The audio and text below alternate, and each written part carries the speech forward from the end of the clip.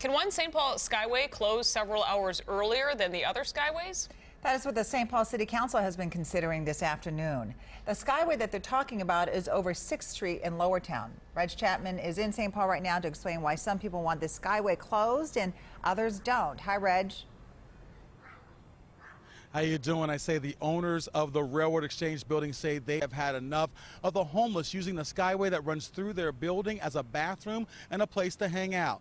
They are hoping the city of St. Paul will allow them to lock down the access to that skyway at 8 p.m but a group of residents don't want that to happen. These residents happen to be in wheelchairs, and they say locking the doors restricts their access and violates their rights. Rick Cardenas says he can't get to his favorite restaurant if the Skyway is closed. But attorney Chuck Repke says his clients are not responsible for providing access to a restaurant that was built after his clients purchased the building and Skyway easement.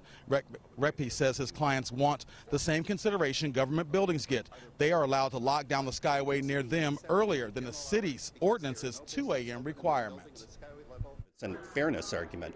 Five places are closed in St. Paul, all for the, who are in the exact same situation as us. The end of the Skyway ought to be able to close when no one wants to go past it. They've done it five times. They just do it only for government buildings. They've done it for Metro Square, the Children's Museum, Federal Courts Building, Sibley Building, City Hall Courthouse. Those places get to be closed. We don't.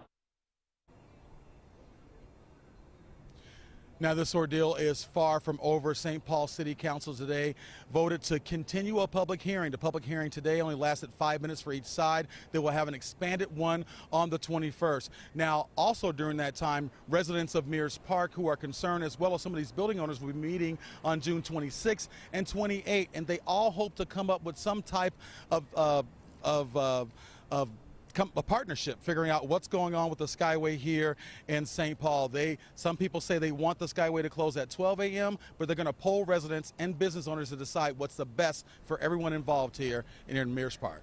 All right. Thank you, Reg.